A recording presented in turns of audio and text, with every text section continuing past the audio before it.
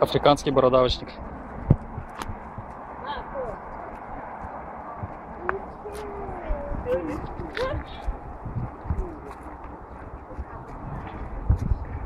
Бородавочник распространен во всей Африке южнее Сахары.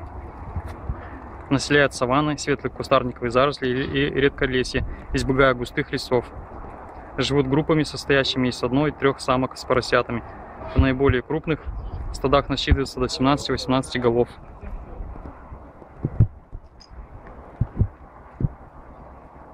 Питается бородавочник практически всем, что сможет найти. Основу его рациона составляет растительный корм, различные травы, корни и клубни растений.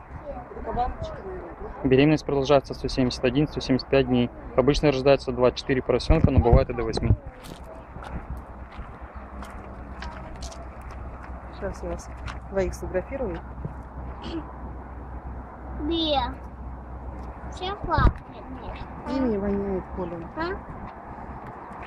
Что? Слушай, а можно им что-то бросать? Но бросать-то можно, будет ли только есть.